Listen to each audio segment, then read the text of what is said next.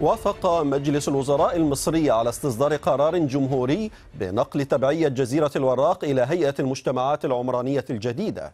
وقالت الحكومة إن القرار يأتي تمهيدا للبدء في تنفيذ مخطط تنمية وتطوير الجزيرة بالتعاون بين الهيئة الهندسية للقوات المسلحة وهيئة المجتمعات العمرانية الجديدة.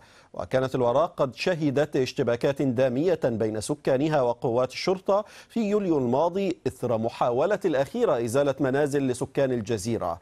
وبينما يؤكد النظام المصري على وجود مخالفات عمرانية بالجزيرة يتهم سكان الجزيرة الحكومة بالتخطيط لطردهم من مساكنهم وأراضيهم تمهيدا لاستغلالها وبيعها لمستثمرين عرب خاصة بعدما نشرت شركة آر إس بي الإماراتية السنغافورية على موقع فرعها الإماراتي بالإنترنت تصميما هندسيا خاصا بتطوير الجزيرة عقاريا ضم مبان شاهقة وميادين متطورة إلا أنها أزالته بعد ذلك أو بعدما أثير من الجدل على خلفية هذا النشر.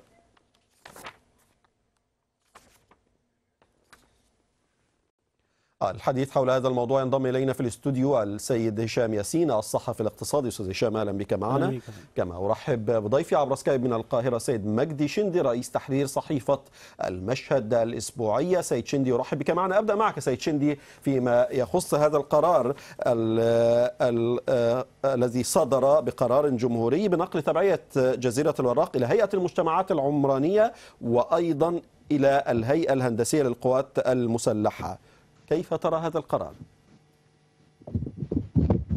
بالتأكيد يعني هو من من حق الدولة أن تقوم بتطوير أي منطقة وليس المهم في القرار ذاته وإنما الأكثر أهمية هو كيفية التعامل مع الأهالي المواطنين الموجودين على هذه الجزر هل يتم تعويضهم بشكل ملائم يضمن لهم حياة كريمة أم أن المسألة يعني تتضمن طردا و يعني هدم منازل وغيره المسألة تتوقف على كيفية التصرف الحكومي تجاه هؤلاء وما إذا كانت يعني ستضع في الاعتبار الحقوق التي الموجودة لهم على هذه الجزيرة الملكيات أو وضع اليد أو غيره. طيب. ستضمن لهم أن ينتقلوا إلى حياة مريحة أن يستفيدوا من تطوير هذه الجزيرة أم أن هذا التطوير سيكون على حسابهم لكن البعض يرى أو يتخوف من أن هذه محاولة حكومية أخرى من قبل نظام عبد الفتاح السيسي لإزالة هؤلاء السكان من على الجزيرة نهائيا كما حاول خلال العام الماضي منتصف العام الماضي خصوصا وجود الجيش في في هذا القرار ممثلا في الهيئة الهندسية للقوات المسلحة سيد شندي. يعني أنا أظن أن أجهزة الدولة تعلمت من المحاولة التي تمت في يوليو الماضي لإزالة بعض المنازل المخالفة على حد وصفها وما حدث يومها من مواجهات دامية مع الأهالي أدت إلى قتيل وأكثر من جريح وبالتالي لابد أن يكون الأهالي الموجودون على هذه الجزيرة قد دخلوا في الحسابات، هل من حق الدولة أنها يعني تطور منطقة؟ نعم من حق الدولة أن تطور أي منطقة، المهم ألا يمثل هذا التطوير إضرارا بمواطنين مصريين. آه هذا هو الأكثر أهمية ولا أظن أن الدولة في حاجة إلى يعني قلاقل اجتماعية جديدة في هذا آه الوقت الحساس والمفترض أنها تتقدم بشكل مقنع لهؤلاء الناس لتفعل ما تريد عن طواعية لهم وليس قهرا أو غصبا. اذا سيد هشام الدولة تريد التطوير لا تريد لا تريد أن يحدث قلاقل أخرى كما حدث منتصف العام الماضي فاذا النية بالنسبة لجزيره الوراء هي نية التطوير تتفق مع هذا الطرح؟ والله خلينا نقرأ بس في في القرار نفسه م. نتأمل القرار شوية. الوراق كانت تابعة لمحافظة الجيزة دلوقتي نقلها تابعة لهيئة المجتمعات العمرانية م. وربطها مع الهيئة الهندسية للقوات المسلحة. الأول لما حاول إن هو يخليها آه، كأن هي آه، المحليات هي اللي بتقوم بعملية الإخلاء بالتعاون مع الشرطة. تمام. كويس؟ آه، فمن ال... حتى في يعني بتحصل مشادات ما بين المواطنين والشرطة في أي في أي عملية من عمليات المحليات بتحصل حتى لو بيخلي سوق أو حاجة فطبيعي إن بيحصل مشادات مع الشرطة. إنما دلوقتي ما بقتش الشرطة اللي هتخلي. دلوقتي بقت الهيئة ال- الهندسية التابعة للقوات المسلحة وبالتالي أي مقاومة للهيئة اللي هي أصلا الهيئة هتطور مش ال- المفترض إن هي تقوم بعملية الإخلاء آه، لو في إخلاء طبعا لو إن هو هي هتطور الناس قاعدة. في في أماكنها ما. هتطور في في خلال عملية إخلاء. ما هو هيخلي علشان يطور وعلى فكرة في آه، بالإضافة إلى الشركة الإماراتية اللي نشرت تخطيط لل لل- للمنطقة في آه، احدى الصحف المصرية نشرت مخطط عام لل- للمنطقة واتكلمت عن عمل مارينا ومباني ضخمة وعمل آه، وعمل فنادق آه، سبع نجوم وخطة تطوير شاملة. وبعدين في الآخر قال لك إيه هنعمل مساكن بديلة للسكان. آه، خطة التطوير اللي هم نشروها ديت مستحيل تتناسب مع نوعية السكان المواطن البسيط الهادي. نعم.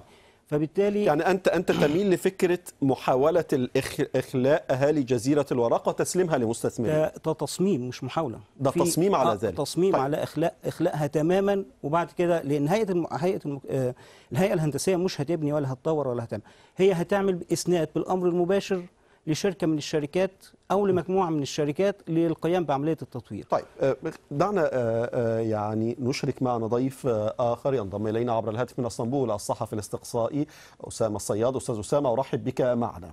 إذا يعني وسهلا لو كنت معنا من البداية ما بين رأيين. رأي يتحدث على أن قرار آه، الدولة والنظام بنقل تبعية جزيرة الوراق لهيئة المجتمعات العمرانية والتطوير للهيئة الهندسية التابعة للقوات المسلحة هي عملية تطوير في الأساس. ورأي آخر يتحدث هذه ليس عملية تطوير هذه بداية لإخلاء الجزيرة من أهلها وتسليمها لمستثمرين سواء إماراتيين أو غيرهم. ما رأيك أنت؟ آه، خليني بس في البداية آه، أصلح معلومة قالها آه، ضيف من ضيوف حضرتك اللي بيتحدث عن إن الشرطة فقط هي من قامت بإخلاء ال ال ال الجزيرة في في في البداية أو حصرت م. الجزيرة. لا هو في البداية يعني الصحف كلها نشرت وجميع وسائل الإعلام وثقت مشاركة قوات من الجيش في الإخلاء منذ البداية. يعني المسألة منذ البداية تدخل فيها الجيش. حتى إن عبد الفتاح السيسي أشار لهؤلاء ال- ال- السكان اللي في الجزيرة واتهمهم بالتعدي على آه، أراضي الدولة والتعدي على أراضي آه، ملك للدولة بعيدا عن آه، القانون. فالمسألة من الأول آه، آه، تدخل فيها الجيش تدخل فيها رئاسة الجمهورية. حتى إن لو تتذكروا حضراتكم وتذكر الساده المشاهدين إن آه، آه، آه، اللواء كامل آه، الوزير آه، آه، ذهب. اللواء كامل الوزير كان ذهب إلى كان جزيرة كده. الوراق واجتمع بالأهالي نعم م. نعم نعم ف- ف- ففي البداية أنا بذكر حضرتكم إن ال- الهيئة الهندسية آه، واللواء كامل الوزير كان في الصورة من البداية صحيح وحتى إن الكلام ده كان بعد ال- ال- ال- إزالة التعديات 16 يوليو م.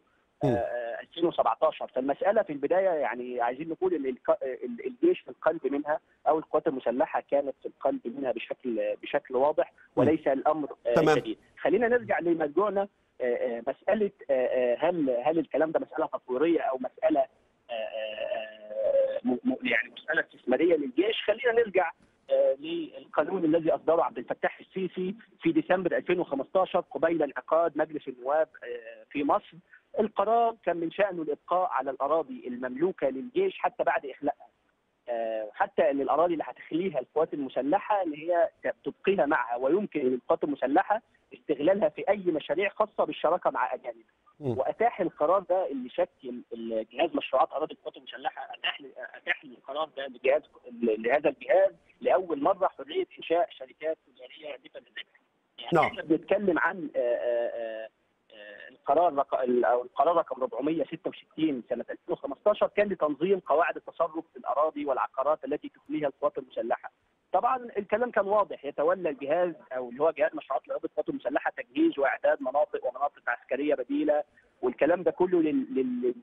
لل... للمناطق التي سيخليها الجيش من آه، آه، قواعد العسكرية، ما بالك بقى الهيئة الهندسية حاليا بتشارك في إخلاء أراضي مدنية حاليا؟ يعني الأمر لا يكتفي حتى الاراضي. العسكرية، ال- الهيئة الهندسية بتشارك في إخلاء أراضي مدنية بدون حتى طب لا أستاذ أسامة عفوا حتى لا نكون لا يعني لا يرى البعض ان هناك مبالغات.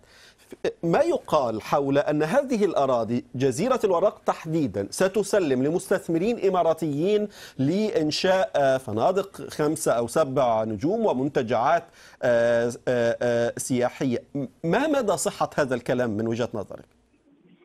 يا سيدي الفاضل هو حتى م. الآن يعني هو هناك هناك تسريبات تتحدث عن هذه المسألة، نحن لا نستطيع أن أن أن نجزم بشيء أو أن نقول أن هناك ولكن السوابق التي يعني أنا أنا طرحت لحضرتك ليه هذا القرار لا أتحدث عنه لأنه بيتيح للجهاز القوات المسلحة انه يفوض بالش... يعني في مشاريع خاصة بالشراكة مع أجانب، لذلك الأمر منطقي للغاية يعني تمام. السوابق السابقة السوابق السابقة في عمليات استزراع سمكي أو غيرها أو غيرها على الاراضي اللي, في الدولة سوابق تشير إلى إن القوات المسلحة لديها يعني سابق أو خبرة أو عايزين نقول تاريخ يعني يعني زي بنسميه التاريخ المرضي زي ما الأطباء بيسموه. لا هناك تاريخ من من الاستيلاء ووضعها في أو تفويضها شراكات أجنبية أو شركات أو مشاريع استثمارية تمام.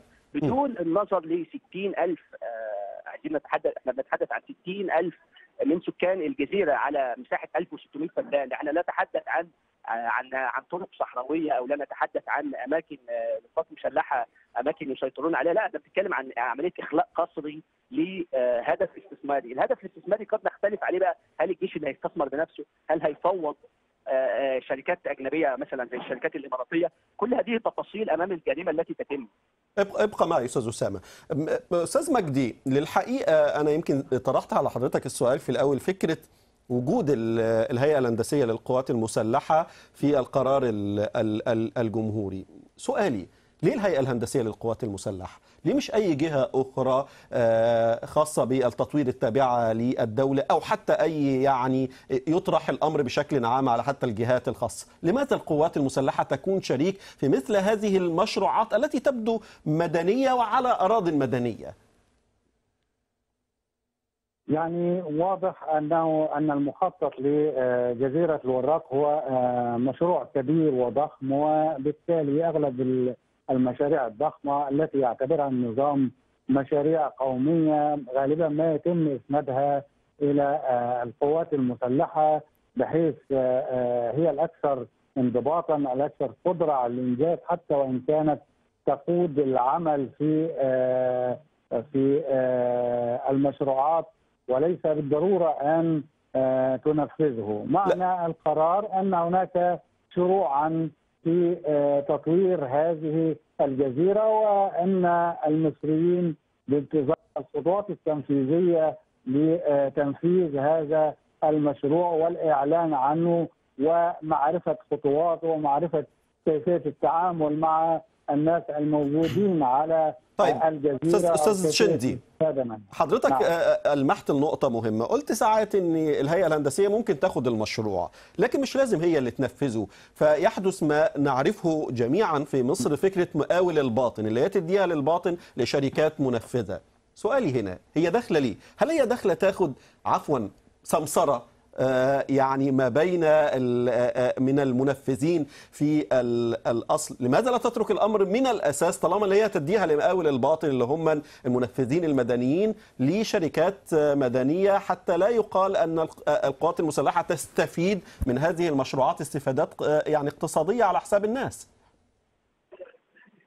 يعني شوف إدارة المشروعات يعني تتضمن جهة أو تستلزم وجود جهة أكثر انضباطا.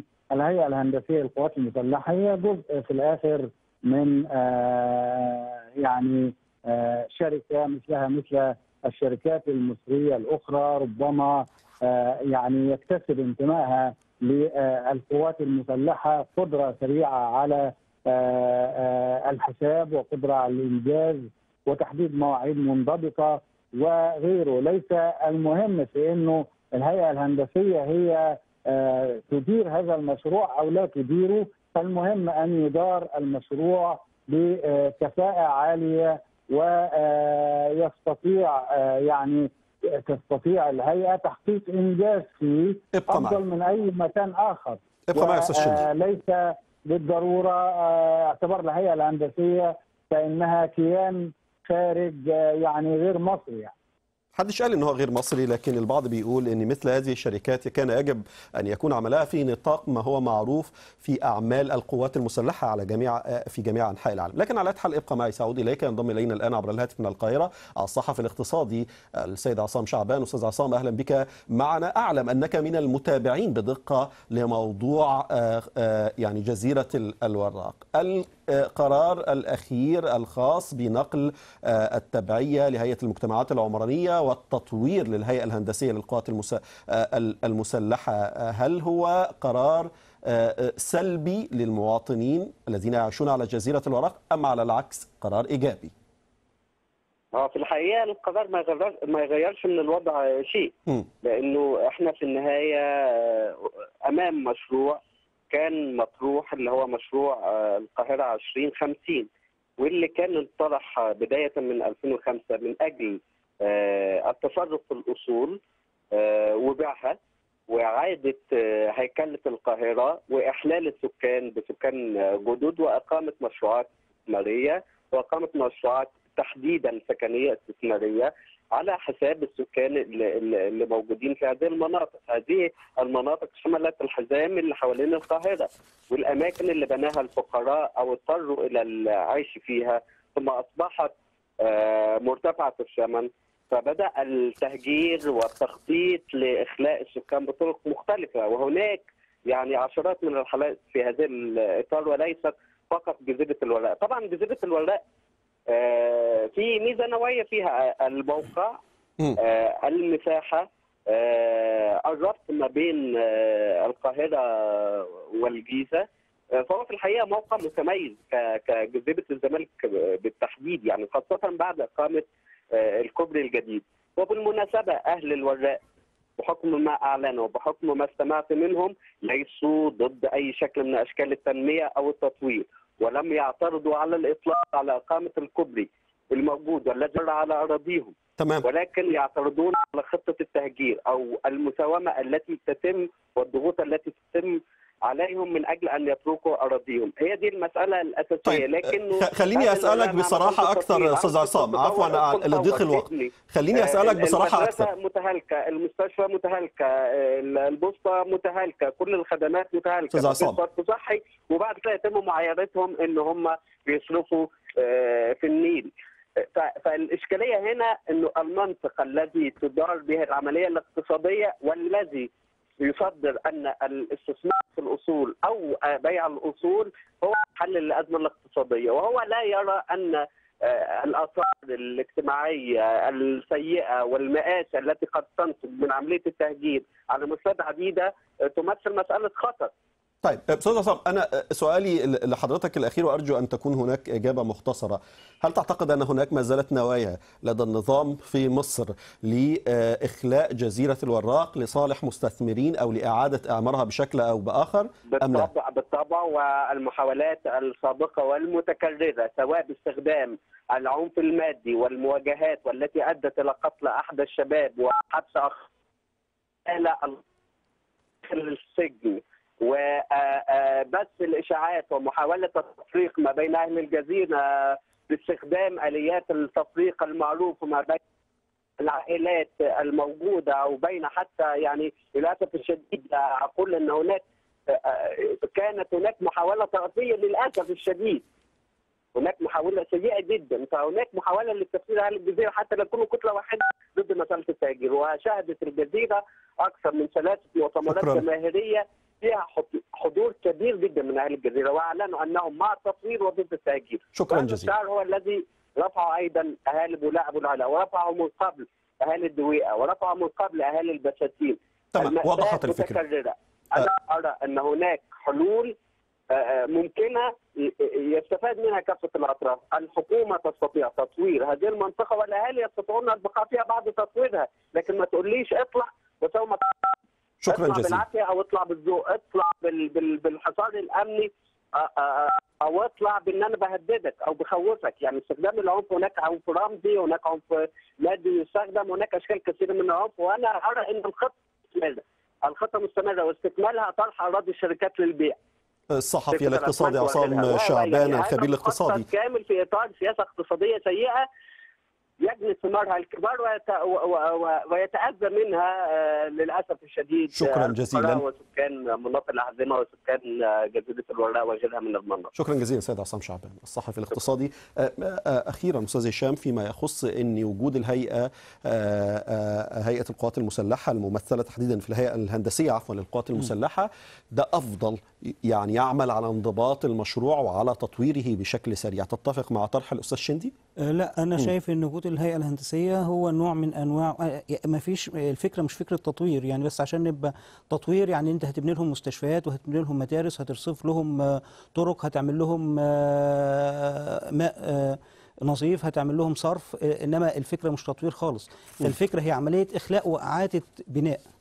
فهنا ده سبب من أسباب وجود الهيئة الهندسية. نعم شكرا جزيلا أستاذ هشام ياسين. في هذا الجزء أنت باق معنا للأجزاء ال- القادمة في السياق الاقتصادي والملف المصري. كذلك الأستاذ مجدي شندي باق معنا وأشكر آه، ضيفي كان معي عبر الهاتف من إسطنبول الأستاذ أسامة الصياد الصحفي آه، الاستقصائي. مشاهدينا الكرام بعد الفاصل نواصل المسائية وفيها بعد يومين من زيادة رواتب الوزراء والمحافظين غضب بين المعلمين المصريين بعد تجاهل البرلمان مطالب زيادة رواتبهم. ابقوا معنا.